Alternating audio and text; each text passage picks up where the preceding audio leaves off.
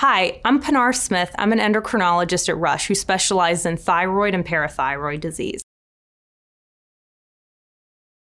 I want you to not only feel better, but to understand what's going on and why we're pursuing the treatment that we are. And I want you to be involved in the decision because, in the end, this is your body and your health, and I want us to be able to make those decisions together.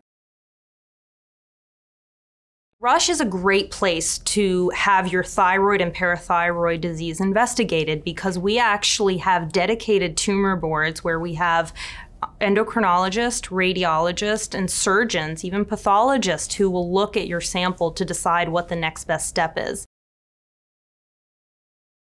When you come to me as my patient, um, I'm really going to investigate any thyroid disease that you might have, whether that's a functional disorder or a structural disorder like a nodule.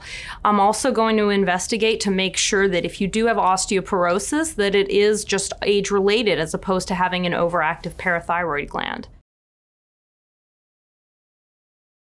The best part of my job is when a patient will come back and feel better, or they get a biopsy that comes back benign for a nodule that they might have been worried about for a long time and avoiding seeking care for it due to this fear.